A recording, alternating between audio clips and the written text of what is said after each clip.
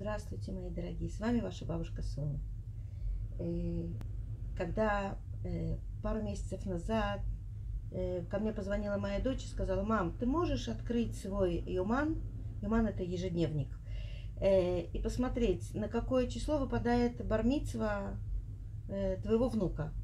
Я говорю, а что такое? Что-то что-то не в порядке? Она говорит, посмотри, посмотри. Я открываю свой ежедневник и вижу, что бармицва моего внука выпадает на шаббат. Э, это сразу хочется почесать так в затылке и сказать, да, попали мы. Почему? Потому что в шаббат э, есть очень много ограничений, и в шаббат нельзя сфотографировать ребенка, в шаббат нельзя сделать э, видеосъемку. Но самое интересное, что э, если это шаббат, это значит, что нужно приехать в другой город, где живет моя дочь, на весь шаббат. А это значит, это не только мы, но и ближайшие родственники. Э, в одной квартире все мы, естественно, не помещаемся, значит, нужно искать, где мы все будем спать. Э, но тут э, я хочу вам рассказать несколько очень интересных моментов, которые вы никогда в жизни бы не узнали, находясь снаружи от этого сообщества. Харидимные люди – э, религиозные люди. Если бы моя дочь не была э, харидит, то я бы никогда бы не узнала, что делается там внутри, в этом закрытом э, обществе, которое, куда, скажем так, не очень-то вхожи люди снаружи. Так вот, э, несколько лет назад мне моя дочь сказала, мам, мы едем в Иерушалайм, э, ты хочешь э, приехать тоже с папой и с, с братьями, э, чтобы вместе с нами там погулять?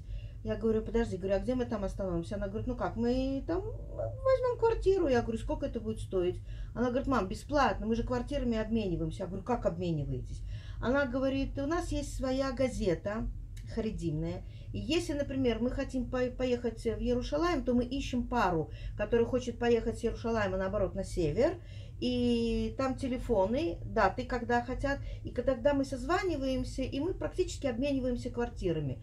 Я говорю, как, бесплатно? Она говорит, да. Я говорю, ну вы же не знаете друг друга. Она говорит, мам, какая разница? Она говорит, они уезжают, оставляют свои ключи соседям, а мы оставляем от нашей квартиры ключи нашим соседям. И когда мы приезжаем в Иерушалаем, нас там ждет квартира, а когда они с Иерушалаема приезжают к нам, то их ждет наша квартира. Таким образом мы обмениваемся, и это получается бесплатно.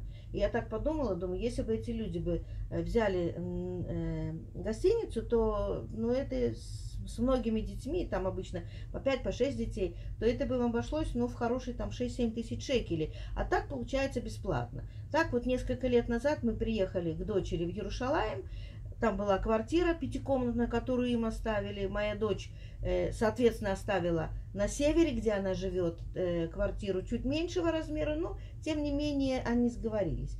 Э, единственное условие, вы должны оставить квартиру в том первозданном виде, в котором вы ее получили. При желании вы можете взять с собой свое постельное белье, чтобы, скажем так, не нагружать хозяев этой квартиры, скажем так, лишней стиркой. Естественно, вам оставляют почти пустой холодильник, все работающее, вы можете включать кондиционеры и так далее. И вот мне моя дочь говорит, мам, говорит, нужно будет искать квартиры, потому что по-хорошему, говорит, я посчитала, все, кто к нам должны приехать на весь шаббат, мне нужно найти 6 квартир. Я говорю, ого, я говорю, причем это без обмена, вы же никуда не уезжаете. Она говорит, мам, предоставь это мне. Э, каково же было мое удивление, когда все шесть квартир она нашла в своем доме. Она живет в девятиэтажном доме. Э, в каждом, на каждой лестничной площадке по 4 квартиры можно посчитать, что это примерно 36 квартир, и получается так, что когда она стала разговаривать с соседями, а сегодня все очень легко, есть WhatsApp, WhatsApp есть группы WhatsApp, э, как правило, между соседями, и когда она, скажем так, в группу соседей э, обратилась с просьбой, что ей нужно на шаббат такого-то числа 5 или 6 квартир, то некоторые соседи сразу написали, что они так э, подгадают, что если нужны квартиры, они именно на этот шаббат поедут к своим родственникам на шаббат, к бабушкам и к дедушкам на шаббат и принесут ей ключи от квартиры. Э, но на этом чудеса не кончаются. Мы приехали на э, шаббат, мы получили сразу четырехкомнатную квартиру, Э, я с моим мужем и еще с двумя детьми, которых нам еще нужно женить. И, скажем так, квартира в идеальнейшем состоянии. Думаю, это же надо, думаю, как люди красиво умеют оставить квартиру. Дело не в этом. Когда мы э, начали э, сопоставлять, как нам сделать, провести бармицву, а это еще условия шаббата, то понятно, что мы, реш... мы поняли, что бармицву нам придется проводить в домашних условиях. Вопрос, сколько человек мы можем принять. И когда мне моя дочь стала загибать пальцы и говорить, что вот столько приедут, а придут учителя со школы, придут друзья с класса, придут эти, придут эти, придет, э, придут очень многие соседи. И когда я начала считать, я говорю, подожди, говорю, так это, причем на каждую трапезу, а трапез должно быть не три, а четыре, потому что еще и, и кидуш после э, бета-кнессета, то мы посчитали, что через нас в этот шаббат должно пройти от 150 до 200 человек. Я схватилась за голову, говорю, боже мой, говорю, как мы это сделаем? Мне моя дочь говорит, мам, давай узнаем, сколько будет стоить кейтеринг. Кейтеринг это заказная еда, когда вам привозят готовые такие э, э, листы с уже там запеченными курами, с рыбами и так далее. И когда мы проверили, выяснилось, что на то количество человек, которые мы хотим, это практически около 5000 шекелей, э, месячная зарплата, средняя такая. И моя дочь говорит, мам, у меня таких денег нет. Я говорю, хорошо. Я говорю, я на себя беру все мясные порции. Я тебе сделаю 100 шницелей, я тебе сделаю 100 э, порций э, э, кур, я тебе сделаю гарниры, я беру день хофиш перед бармицвой, и я тебе приеду, все приготовлю.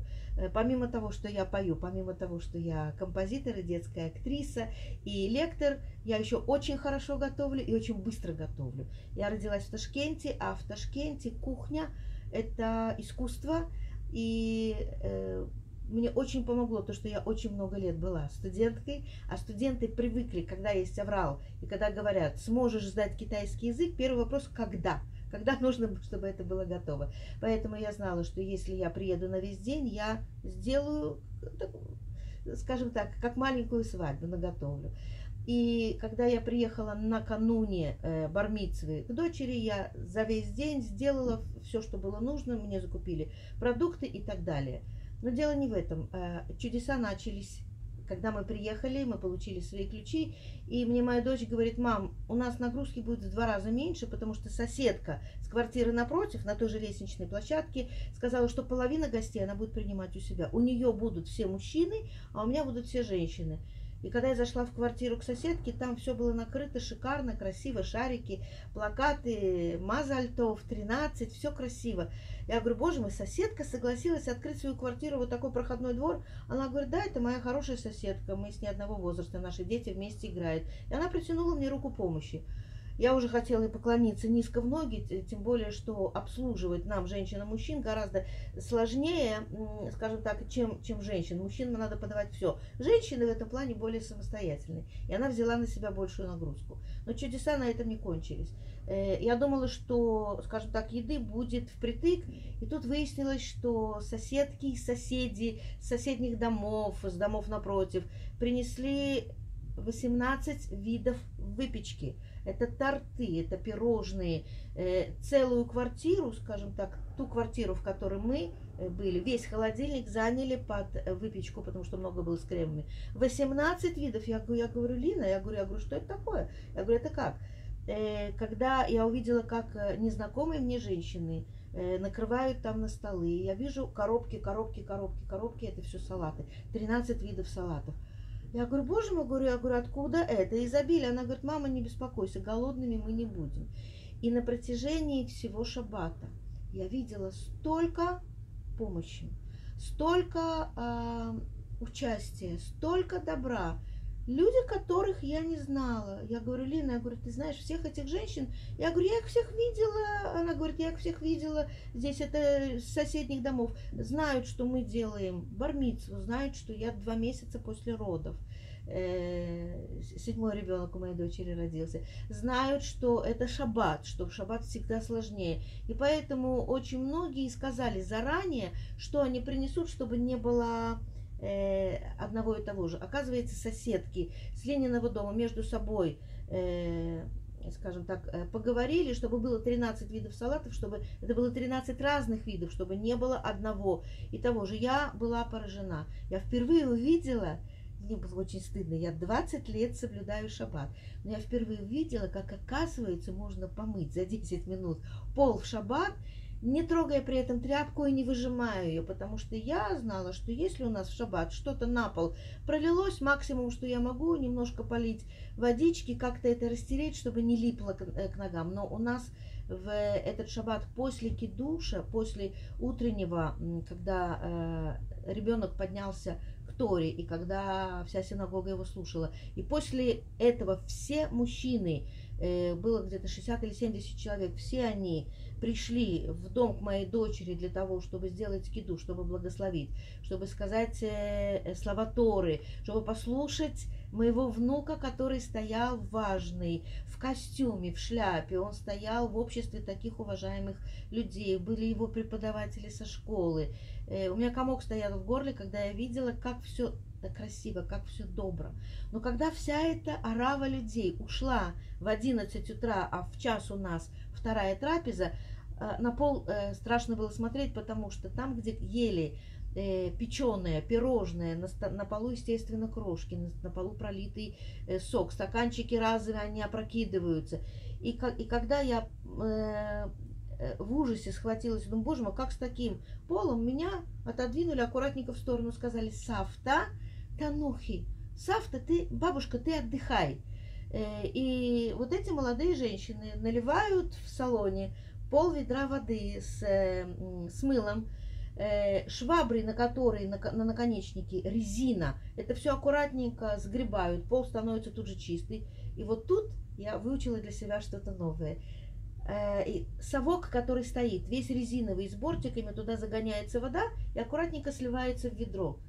Ребята, 10 минут, и пол был чистый, белоснежный. И вот на таком, э, э, скажем так, на такой взаимопомощи прошел весь шаббат. Это, вы знаете, это как провести свадьбу в домашних условиях. Туда приходили люди, люди, которых э, не знали, тоже не моя дочь, не мой зять.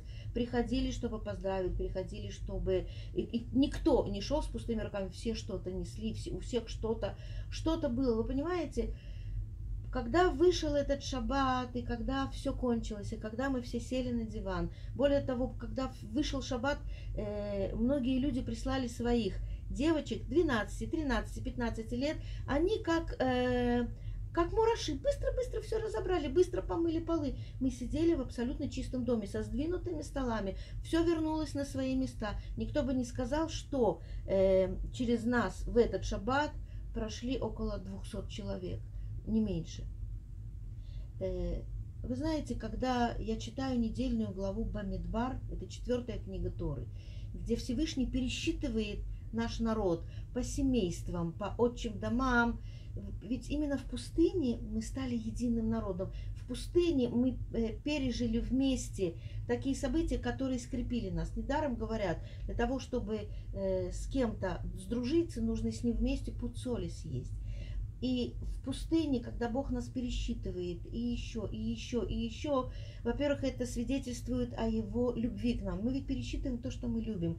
Коллекционер с удовольствием перебирает свои марки или свои монеты, или, э, или свои э, какие-то драгоценности. Э, человек, который любит бриллианты, обязательно высыпет, как показывают, из черного мешочка бархатного, обязательно будет их пересчитывать поштучно, и не дай Бог, если одного бриллианта он не досчитается. То же самое со Всевышним, который который э, любуется нами при пересчете, потому что каждая душа для него важна.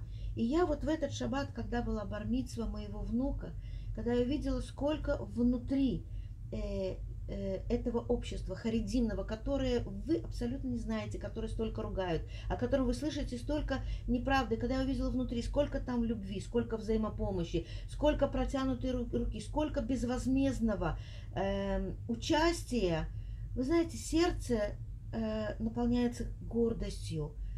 Это мой народ. Я принадлежу к этому народу. Э, поэтому будьте друг другу добрее. Протяните друг другу руку помощи и просто любите друг друга. С вами была ваша бабушка Соня, и я вас тоже всех очень-очень люблю.